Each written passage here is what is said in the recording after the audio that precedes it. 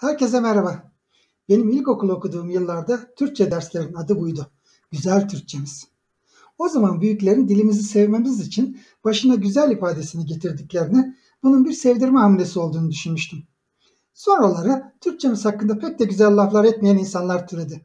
Yok yetersizmiş de, bilim felsefeye uygun değilmiş de, saçma sapan laflar. Halbuki okudukça dilimizin güzelliklerini, ses uyumunu, şiirsel anlatıma uygun cümle yapısını, yabancı dillerden çok kolay kelime transfer edilebildiği halde yapısında bozulma olmadığını görebilmek için uzman olmak gerekmiyor. Amatör de olsa bu dilimiz üzerinde çalışmaya başladığımda fark ettim ki hakikaten güzel bir dilimiz var. Yeter ki dilimizi öğrenelim, doğru kullanalım. Bu video serisini yayınlama amacımız da bu zaten. Birlikte güzel Türkçemizi gözden geçirmeye ne dersiniz? Bildiklerimizi hatırlamaya, bilmediklerimizi öğrenmeye. Hem de en baştan. Bu seride anlatacaklarımız sizi hem hayatımızın gerçeği olan sınavlara hazırlayacak hem de güzel Türkçemizi daha iyi, daha doğru kullanmamıza imkan sağlayacak. E madem öyle hadi vakit geçirmeden başlayalım o zaman. Türkçe tarihimiz boyunca pek çok dil ve kültürden etkilense de köklerinden hiç kopmamıştır. En kolay ders olması gerekirken pek çok öğrencinin zorlandığı bir derstir Türkçe.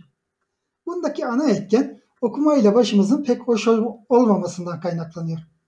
Ayrıca toplum olarak dil bilgisi konularında da oldukça zorlanıyoruz. Büyük harflerin kullanımını öğrenmek yazım kurallarında çok önemlidir. Bu nedenle LGS'den YKS'ye, KPSS'den görevde yükseltme sınavlarının hepsinde karşımıza çıkıyor.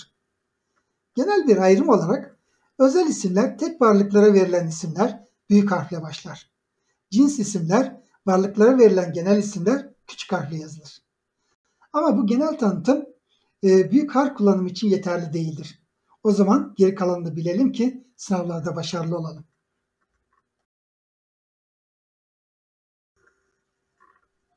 Türkçemizde bütün cümleler büyük harfle başlar.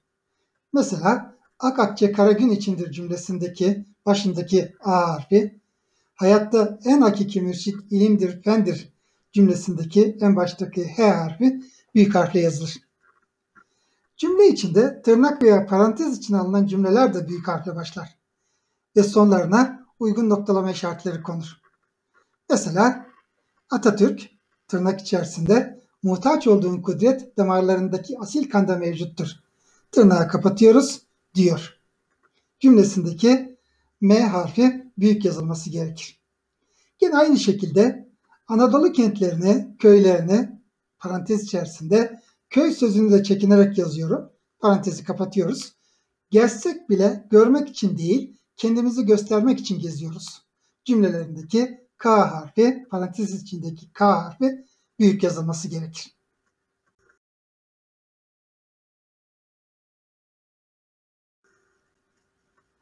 İki çizgi arasında açıklama cümleleri büyük harfle yazılmaz arkadaşlar. Mesela bir zamanlar çizgi içerisinde kırmızı renkte de görünüyor şu anda. Bu zamanlar çok da uzak değildir. Bundan 10-12 10-12 yıl önce Türk saltanatının maddi sınırları uçsuz bucaksız denilecek kadar genişti. Cümlesindeki kırmızı renk içerisinde belirttiğimiz iki çizgi arasındaki cümleyi gördüğünüz gibi küçük harfle yazmamız gerekiyor. Yine bir başka cümlede bu sefer de onları her zamanki gibi yerlerinde bulmak ihtimaliyle farkında olmadan aramıştım. Cümlesinde gene kırmızı kırmızı renkte belirttiğimiz iki çizgi arasındaki e, cümleyi ne yapıyoruz? Açıklamayı küçük harfle yazıyoruz.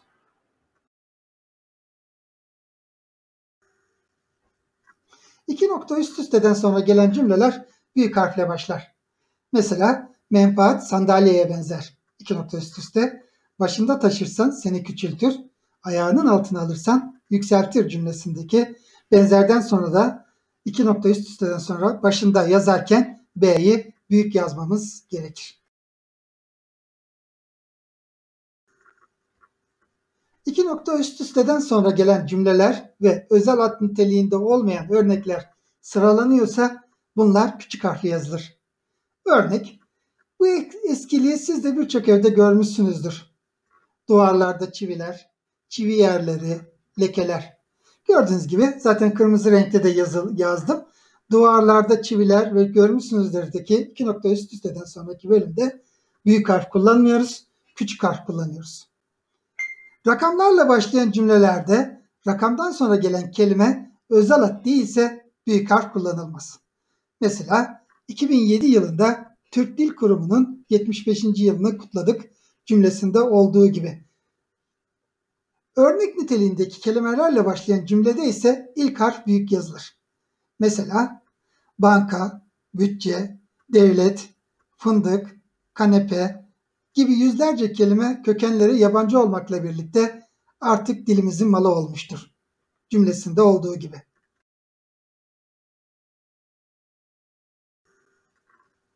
Şiirlerdeki dizeler büyük harfle başlar. Mesela halk içinde muteber bir nesne yok devlet gibi. Olmaya devlet cihanda bir nefes sıhhat gibi. Veyahut korkma sönmez bu şafaklarda yüzen al sancak. Sönmeden yurdumun üstünde tüten en son ocak. Dizelerinde de veyahut bin atlı akınlarda çocuklar gibi şendik. Bin atlı o gün dev gibi bir orduyu yendik. Şiirinde de olduğu gibi kırmızıyla da belirttim. Her bir dizenin başındaki harf büyük yazılması gerekiyor.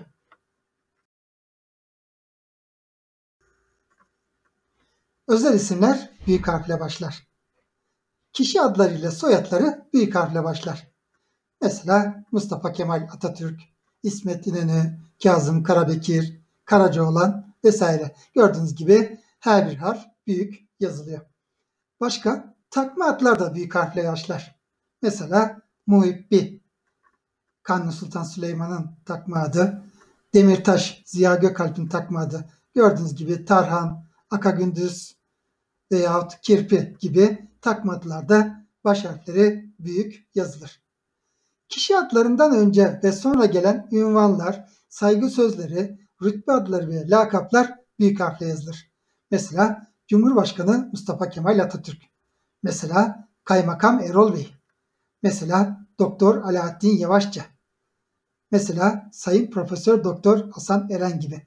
Buradaki ünvanlarda büyük harfle tıpkı isimlerde olduğu gibi büyük harfle yazılması gerekir.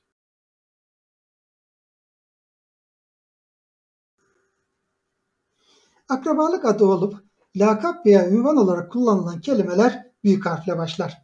Mesela Nena Hatun, Gül Baba, Telli Baba gibi. Eğer kelime yalnızca akrabalık bildiriyorsa büyük harf kullanmıyoruz, küçük harf kullanıyoruz. Mesela Tülay ablama gittim. Ayşe teyzemin keki çok güzeldi. Hanımefendiler, beyefendiler, küçük hanımlar, küçük beyler. Sınavlarla ilgili bu bölümde çok soru çıkıyor. Bununla ilgili ayrıma dikkat etmeniz gerekiyor. Eğer akrabalık, lakap veya ünvan olarak belirtiyorsa büyük harfle yazıyoruz. Değilse yalnızca akrabalık bildiriyorsa küçük harfle belirtiyoruz. Çok önemli. Cümle içinde özel adın yerine kullanılan makam veya ünvan varsa bunları büyük harfle yazıyoruz. Mesela uzak doğudan gelen heyeti vali dün kabul etti cümlesindeki vali büyük harfle yazılması gerekiyor.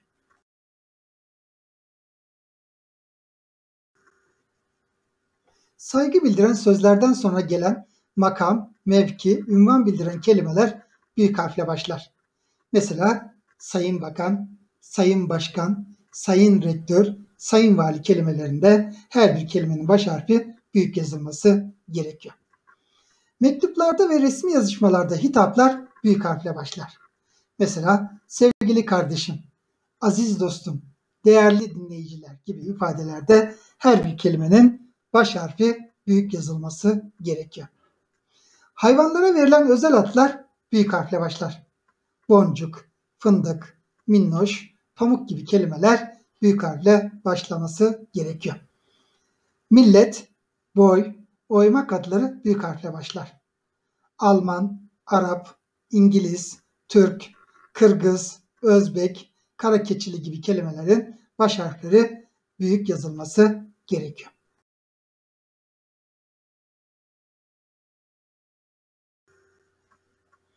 Dil ve lehçe adları büyük harfle başlar. Mesela Türkçe, Almanca, İngilizce, Rusça, Kırgızca, Özbekçe gibi. Devlet adları büyük harfle yazılır. Mesela Türkiye Cumhuriyeti. Mesela Kuzey Kıbrıs Türk Cumhuriyeti gibi. Kırım Özerk Cumhuriyeti gibi. Din ve mezhep adları ile bunların mensuplarını bildiren sözler büyük harfle yazılır. Müslümanlık, Müslüman, Hristiyanlık, Hristiyan, Musevilik, Hanefi, Katolik, Katoliklik gibi kelimeler bu nedenle büyük harfle yazılması gerekiyor. Din ve mitoloji ile ilgili özel adlar büyük harfle başlar. Mesela Tanrı, Allah, İlah, Cebrail, Zeus, Kibele gibi kelimeler bu nedenle büyük harfle yazılması gerekir. Ancak Tanrı, Allah, İlah sözleri özel ad olarak kullanılmadıklarında küçük harfle yazılır. Mesela eski Yunan tanrıları. Mesela müzik dünyasının ilahı. Mesela Amerika'da kaçakçılığın Allah'ları var. Cümlelerindeki Tanrı, ilah ve Allah kelimeleri küçük harfle yazılması gerekir.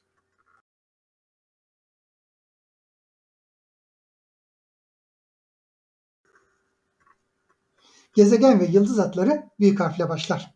Merkür, Neptün, Satürn, Haley gibi. Dünya, Güneş ve Ay kelimeleri gezegen anlamı dışında kullanılıyorsa küçük harfle yazılır. Mesela biz dünyadan ayrı yaşarken dünya epey değişmiş cümlesindeki dünya küçük yazılması gerekiyor. Bu ayrım da sınavlarda sıklıkla sorulan sorulardan arkadaşlar dikkat. Düşünce, hayat tarzı, politika ve benzeri anlamlar bildirdiğinde Doğu ve Batı sözlerinin ilk harfleri büyük yazılır. Mesela Batı medeniyeti, Doğu mistizmi gibi. Bu sözler yön bildiriyorsa küçük yazılır. Mesela Bursa'nın doğusu, Ankara'nın batısı gibi. Arkadaşlar yönlerle ilgili sorular da sıklıkla sınavlarda karşımıza çıkabiliyor.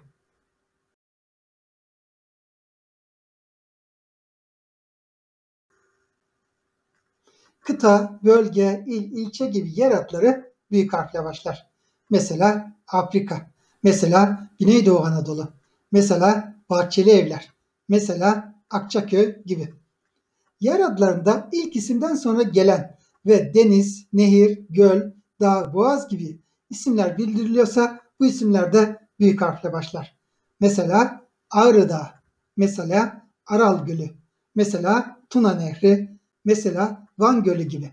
Bunlar her bir kelimesi büyük yazılması gerekiyor. Özel adı dahil olmayıp tamamlama kuran şehir, il, e, ilçe, belde, köy gibi sözler küçük harfle yazılır. Mesela Konya ili gibi. Mesela Etimözküt ilçesi gibi. Mesela Uzungöl beldesi, mesela Taflan köyü gibi. Mahalle, meydan, bulvar, cadde, sokak adlarında geçen mahalle, meydan, bulvar isimleri büyük harfle yazılır. Mesela Halit Rıfat Paşa Mahallesi, Karaköy Meydanı veya Zafer Meydanı gibi, Cemal Nadir Sokağı gibi e, yer bildiren kelimeler, sokak, cadde bildiren kelimeler büyük harfle yazılması gerekiyor.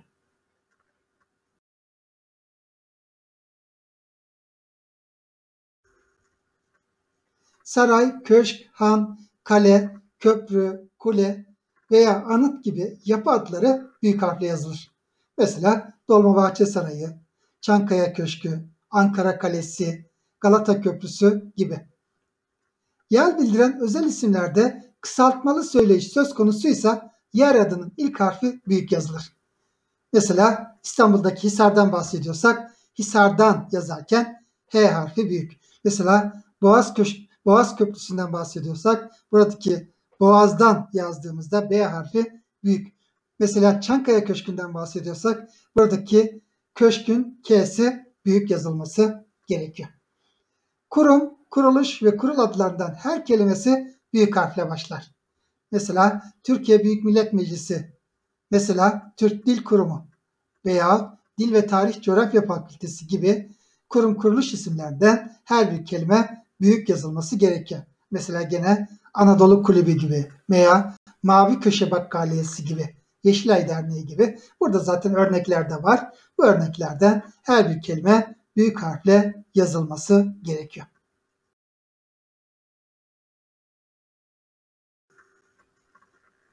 Kanun, tüzük, yönetmelik, yönerge ve genelgelerin her kelimesi büyük yazılır. Mesela medeni kanun, mesela Türk bayrağı tüzüğü, mesela telif hakkı yayın ve satış yönetmeliği gibi. Kurum, kuruluş, kurul, merkez gibi e, makamların asılları kastediliyorsa bir cümle içerisinde o da büyük harfle yazılır. Mesela Türkiye Büyük Millet Meclisi her yıl 1 Ekim'de toplanır. Bu yıl ise meclis yeni döneme erken başlayacak. Cümlesinin ikinci cümlede ki meclisin büyük yazılması gerekiyor. Zaten dikkat çekmek için de M'yi kırmızı yaptık. Türk Dil Kurumu çalışmalarını titizlikle sürdürüyor. Atasözleri ve deyimler sözlüğü kurumun 21 Mayıs 2009 tarihinde Kars'ta düzenlediği toplantısı kullanıma açıldı. Cümlesinde ikinci cümledeki K harfi kurumu kastedilen kısmı Türk Dil Kurumu'nu kastedilen kurum ifadesindeki e, K büyük yazılması gerekiyor. Yazarlara ödenecek telif ücreti telif hakkı yayın ve satış yönetmeliğine göre düzenlenmektedir. Yapılan işlem yönetmeliğin dördüncü maddesine aykırı düşmektedir. İkinci cümlesinde, ikinci cümledeki Y gene bu nedenle büyük yazılması gerekiyor. Gene sınavlarda çok sık karşımıza çıkan bir ayrımdan bahsetmek istiyorum. Önce okuyalım. Kitap, dergi, gazete ve sanat eserlerinin her kelimesi büyük harfle yazılır. Mesela nutuk, mesela kendi gök kubbemiz, mesela Anadolu notları, mesela resmi gazete, mesela hürriyet, milliyet. Özel ada dahil olmayan gazete, dergi, tablo, sözler büyük harfle yazılmaz. Mesela Milliyet gazetesi yazarken milliyeti büyük yazarız, gazeteyi küçük yazarız. Bakın bu ayrım çok sık soruluyor. Resmi gazete gazetenin tam adıdır. Bundan dolayı hem R hem de G büyük yazılması gerekir. Ama dikkat ederseniz örneklerde de yazdım. Hürriyet kelimesinde H kelime H büyük yazılır ama gazetesi yazılırken küçük yazılır. Mesela Türk Dili dergisi. Türk dilidir de e, onu özel yapan kısım. O kısmı büyük harfle yazarız. Dergisi kısmını küçük yazarız.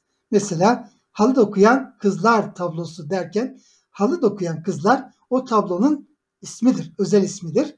Ama tablo buna bir özellik katmaz. Bundan dolayıdır.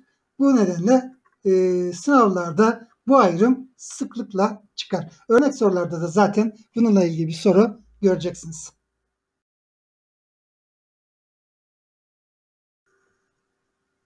Kitap, makale, tiyatro eseri, kurum adı gibi özel adlarda yer alan kelimelerin ilk harfleri büyük yazıldığında ve, ile, ya, veya gibi bağlaçlar ya da mı, mi, mu gibi soru ekleri küçük harfli yazılır.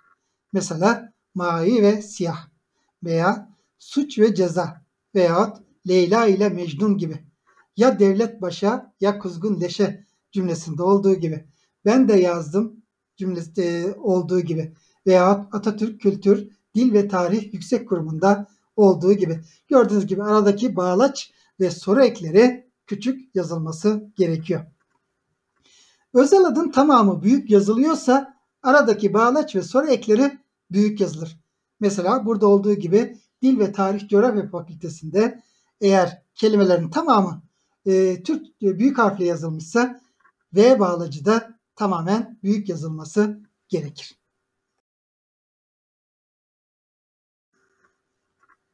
Bayramlar ve özel günler büyük harfle yazılır. Mesela Cumhuriyet Bayramı. Mesela e, Ulusal Egemenlik ve Çocuk Bayramı, Kurban Bayramı gibi veyahut da Miraç Kandili gibi, Anneler Günü, Öğretmenler Günü, efendim 14 Mart Tıp Bayramı, Hıdrellez gibi kelimeler büyük harfle yazılması gerekiyor. Kurultay, bilgi şölönleri, çalıştaylar, açık oturumlar her kelimenin ilk harfi büyük yazılır. Mesela 6. Uluslararası Türk Dili Kurultayı gibi. Kitle iletişim araçlarında Türkçenin kullanımı, bilgi şöleni gibi e, veyahut Karamanlı Türkçesi Araştırmaları Çalıştayı gibi e, özel kurultaylar, bilgi şölenleri büyük harfle yazılması gerekiyor.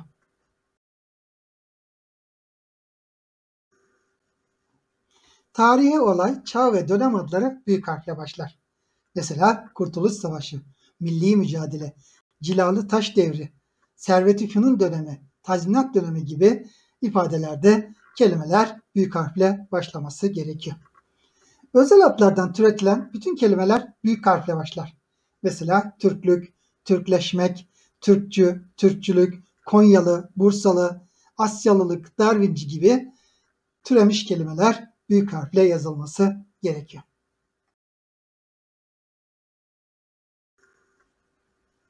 Özel adlar kendi anlamı dışında yeni bir anlam kazanmışsa büyük harf kullanılmaz. Mesela Acem. Müziğinde bir perdeden söz ediyorsak bunu da küçük harfle kullanmamız gerekir. Veya gene Hicaz. Türk müziğinde gene bir başka makamdan söz ediyorsak burada da H'yi küçük yazmamız gerekir. Amper elektrik akımındaki şiddet biriminde, Joule fizikteki iş birimini yazarken veya Allah'lık yazarken kendi anlamının dışında bir e, anlam ürettiyse özel ad bu sefer ne kullanılır? Küçük harfle yazmamız gerekiyor. Para birimleri büyük harfle kullanılmaz. Avro, dinar, dolar, lira hepsi burada da gördüğünüz gibi küçük harfle yazılması gerekiyor. Özel adlar yerine kullanılan o zamiri cümle içinde büyük harfle kullanılmaz arkadaşlar.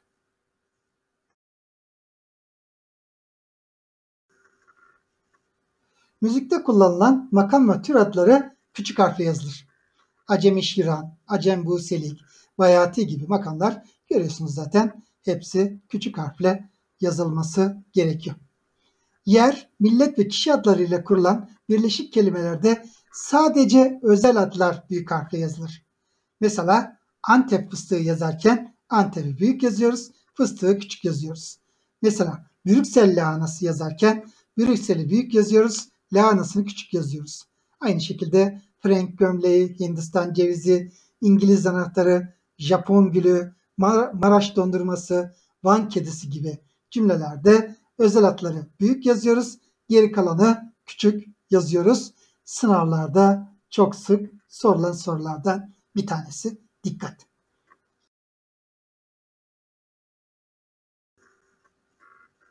Belirli bir tarih bildiren ay ve gün adları büyük harfle başlar. Mesela 29 Mayıs 1453 Salı günü, 29 Ekim 1923, 28 Aralık 1982'de göreve başladı. Lale Festivali 25 Haziran'da başlayacak gibi. Eğer belirli bir tarih belirtmiyorsa ay ve gün adları küçük harfle yazılır. Mesela okullar genellikle Eylül'ün ikinci haftasında öğretime başlar. Veya yürütme kurulu toplantılarını perşembe günleri yaparız gibi gün ve ay isimleri bu cümlelerde küçük yazılması gerekiyor. Bu ayrım da sınavda sıklıkla karşımıza çıkıyor arkadaşlar.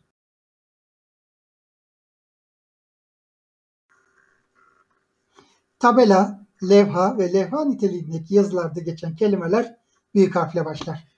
Mesela giriş, çıkış, müdür, vezne, doktor, otobüs durağı, şehirler arası telefon, üçüncü kat, dördüncü sınıf, birinci blok gibi kelimeler büyük harfle yazılması gerekiyor. Kitap, bildiri, makale ve benzeri ana başlıkların kelimelerin tamamı, alt başlıktakiler ise yalnızca ilk büyük harfleri büyük olarak yazılır arkadaşlar. Akademik çalışmalarda bunu zaten görürsünüz. Kitap, dergi ve benzerinde bulunan resim, çizelge ve tablonun altında yer alan açıklayıcı yazılar büyük harfle başlar. Açıklayıcı yazı cümle niteliğinde değilse sonuna nokta konmaz.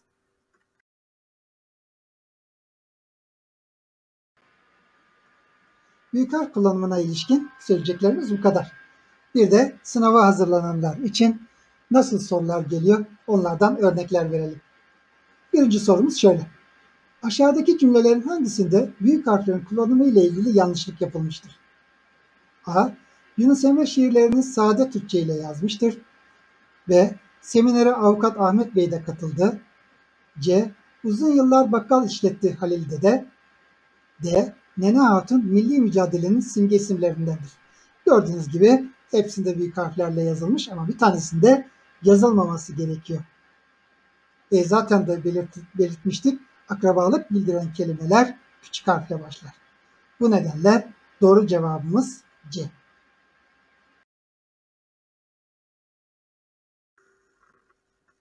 İkinci örnek sorumuz şu şekilde. Aşağıdaki seçeneklerin hangisinde ay ve gün adlarının yazımı ile ilgili yanlışlık yapılmıştır. A. Takvim Mayıs'ın 18'i Cuma'yı gösteriyordu. B. Size bu perşembe gelmeyi düşünüyoruz. C. Atatürk'ü anma etkinlikleri Kasım'ın ilk haftası yapıldı. D. Mart ayında kazı çalışmalarına başlanır. Evet, burada da belirli bir tarihi belirtmeyen ay ve gün adları küçük harfle yazılması gerekiyordu. Bu nedenle doğru cevap A olması gerekiyor. Üçüncü örnek sorumuz da şu şekilde. Aşağıdaki cümlelerdeki altı çizili sözcüklerden hangisinin yazımı doğrudur? Dikkat, doğru olanı seçeceğiz. TBMM toplandı. Bu hafta mecliste önemli bir konu görüşülecek. Meclisten altı çizili. Açlığa, yokluğa Batı sessiz kalmamalıydı. Batı kelimesinin altı çizili. Amerika'da kaçakçılığın Allah'ları var cümlesinde Allah'ları kelimesinin altı çizili. D. Yol yapım çalışmalarından dolayı Boğaz trafiği aksıyor. Boğaz kelimesinin altı çizili. Açıklamalarımızda da söylemiştik. E, yer bildiren özel isimlerde kısaltmalı söyleyiş söz konusuysa yer adının ilk harfi büyük yazılması gerekiyor. Bu nedenle doğru cevabımız D'dir.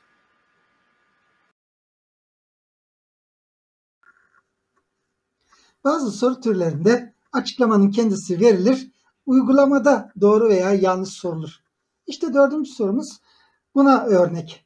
Sorumuz şöyle. Dünya, güneş, ay kelimeleri gezegen anlamı dışında kullanıldıklarında küçük harfle başlar. Açıklama doğrultusunda hangi seçenekte yazım yanlışı yapılmıştır? Seçenekler şu şekilde. Güneş doğarken minibüsün kornası ile uyandık. Ve yüzüne düşen ay ışığı yılların yorgunluğunu açığa vuruyordu. C. Dünyanın büyük bölümü sularla kaplıdır. D. Onu karşımda görünce dünyalar benim oldu. Gördüğünüz gibi burada doğru cevap B seçeneği. Neden? Ay ışığı gezegen anlamı dışında kullanılmasına rağmen büyük yazılmış ay kelimesi. Bundan dolayı da doğru cevap B.